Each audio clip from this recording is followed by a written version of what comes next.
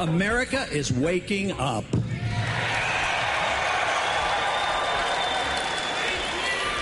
The bad news is Washington is still sound asleep. But our job, our job is to wake Washington up, make sure they hear our message. We can never accept the notion, which exists today, that the government can protect us against ourselves. Governments can't do that. Ron Paul on the stump over the weekend in Missouri. Joining us now, staff writer for The New Yorker, Kelefa Sanneh. In the new issue, he writes about Ron Paul's unique brand of libertarianism. Quote, last summer, Jon Stewart mocked cable news channels for pretending Ron Paul doesn't exist and asked, how did libertarian Ron Paul become the 13th floor in a hotel?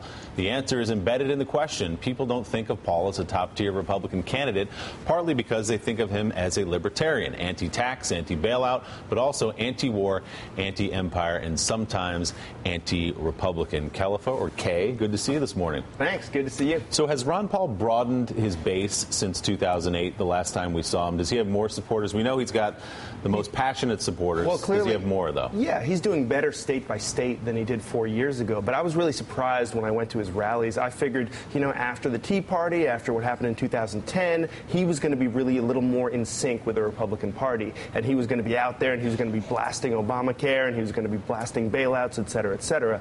And so when I went to see him, I was surprised that to really see viscerally how far he still was from the mainstream of the Republican Party. And he gets on the stump and he talks about we've got to end the wars, we've got to legalize drugs, we've got to cut $1 trillion right now. I mean, his message is really sharply different from what other candidates are saying, even now, even post Tea Party. Is there any sense that he's attempted or gotten advice that he ought to attempt to mainstream himself, or is he so dedicated to his point of view? I mean, give him credit for that. He's been that at he's this. not going to do it. He's been at this essentially for 40 years. He's been at this since Nixon took the, you know, broke the link between the dollar and the gold standard, and so he's kind of used to being an outlier. He was an outlier when he was in Congress in the 70s and the 80s, and 88 when he ran as a libertarian. He was even an outlier in the Libertarian Party, and then he comes back into the Republican Party. But he's he's used to not quite fitting in, and this is this is who his supporters are.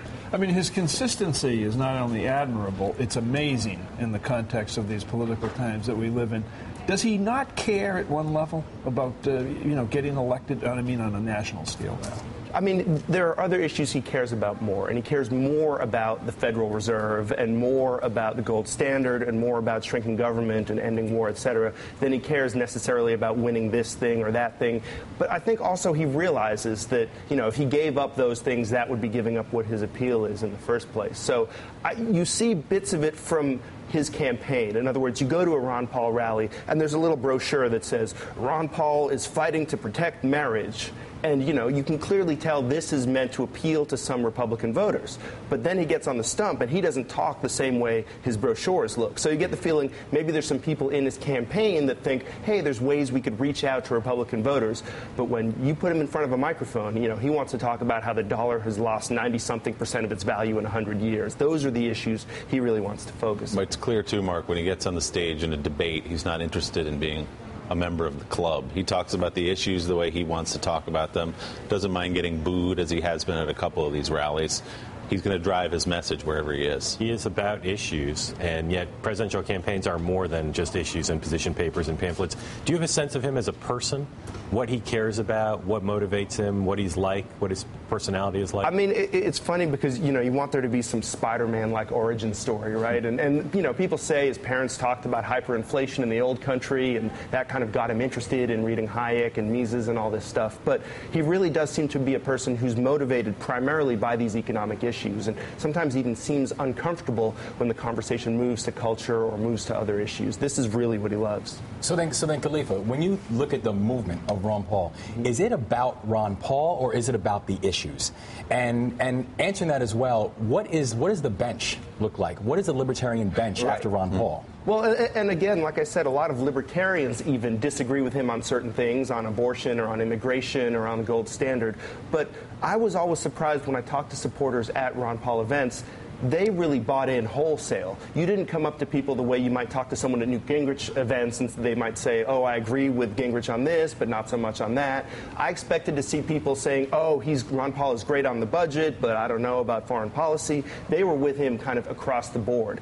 And it is, in some sense, a kind of a quirky group of positions. So there's not an obvious other person that they would go for. Some of his fans are also fans of, say, Alex Jones. You talk to people who voted for Obama and now they've, they've kind of changed their mind. But again and again, his supporters would say, he's the only politician I really care about, with the possible exception of the senator from Kentucky, his son Rand Paul. And there has been, over the last couple of months, the specter, the possibility of Ron Paul running as a third party candidate right. and really gunking up this race. Well, Based on your reporting, what's the likelihood that he does that? Well, what happened in 2008 was super awkward. He has this press conference with four independent candidates. One of them, Bob Barr, doesn't show up to the press conference, so there's only three candidates. And then the last minute, he endorses Chuck Baldwin from the Constitution Party, and it's kind of all mixed up. And I'm sure he wants a slightly smoother end game this time. The question is, does he run independent? Does he not do that in order to try and uh, preserve a future for his son Rand Paul?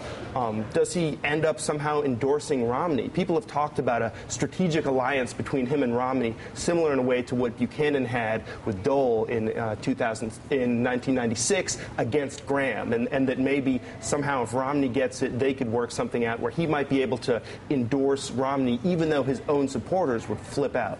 Mark, what's your sense of Rand Paul's future with, in relation to his father?